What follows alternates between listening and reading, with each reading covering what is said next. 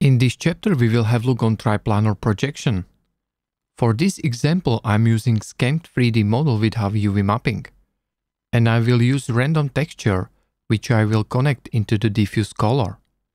As you can see in render view, texture looks stretched and incorrectly mapped. For mapping texture on 3D model with HAV UV coordinates is responsible UV projection. Select material tag and under projection section you can choose type of UV projection. Currently is used spherical projection. Let's switch to cylindrical projection. As you can see cylindrical projection is not working correctly as well. Let's try flat projection.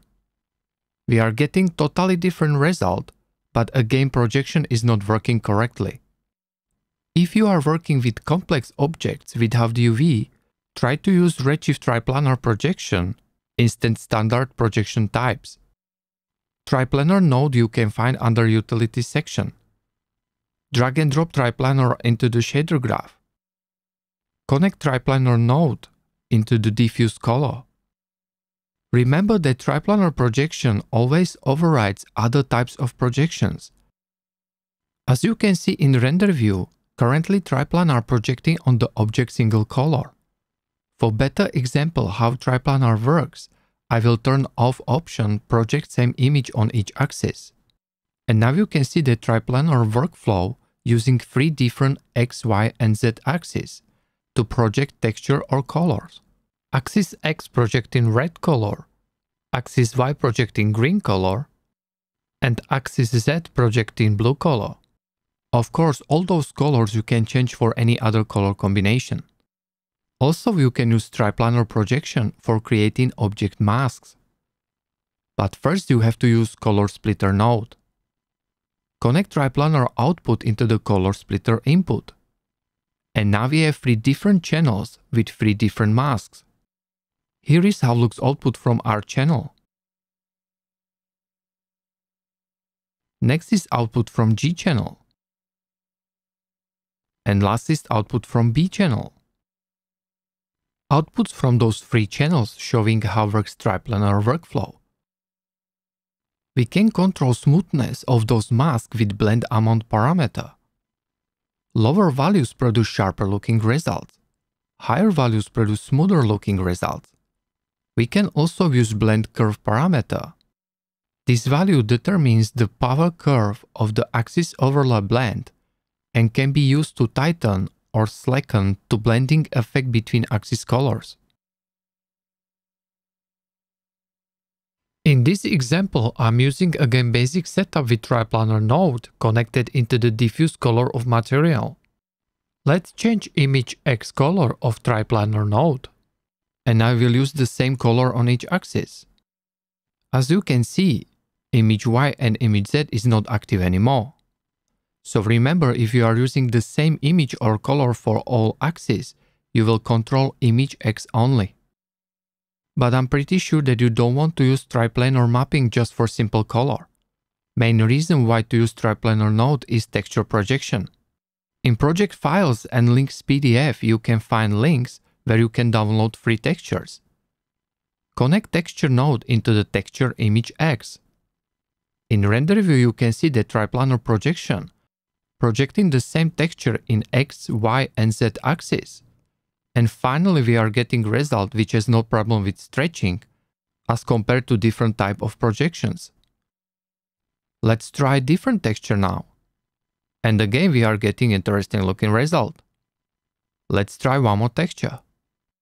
On those small details you can see the triplanar projection eliminates stretching and is very useful.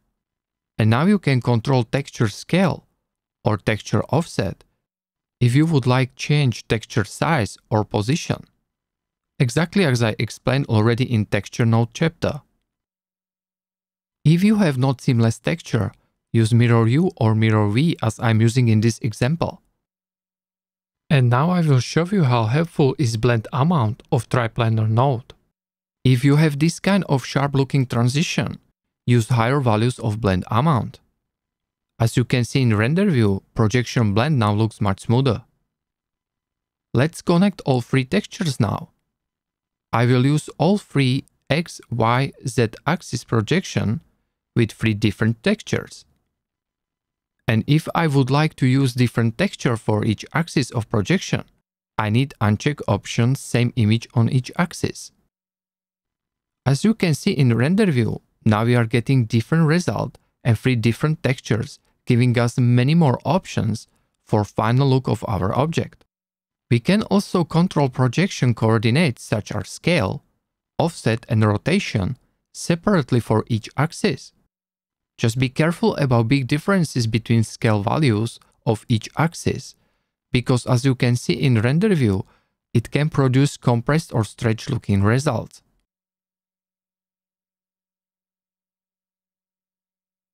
Offset parameters control separately X, Y, Z projection offset, similar workflow as using noise offset. You can use positive or negative values as well. Also, you can rotate with your textures and you can have different rotation for each axis of projection. You can use positive or negative values, depends on direction of rotation what you would like to use. Next is projection space type. By default, triplanar projection using object space type. Use object type if your object has any kind of animation and you need to have your texture stick with the object. For a projection space type, you can use for static objects, terrain or large environment. And reference projection space type use if your object using any kind of deformers. But the most common projection space type is object. And here is one more example how looks texture node output with how mirror U and mirror V. And now with texture mirroring. Also how blend amount and blend curve helping with texture blending. And how triplanar coordinates affecting texture scale, position and texture look as well. So now you get an idea of what everything is possible with triplanar projection.